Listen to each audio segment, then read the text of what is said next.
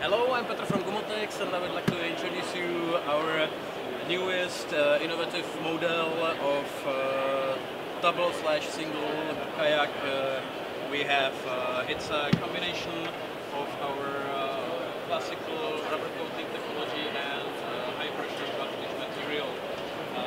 The boat has high pressure drop stitch bottom and also construction parts like the seats and footrests. Uh, the highest advantage of uh, this combination of the materials is that the material is uh, high flexible uh, and you can roll it in a really small backpack.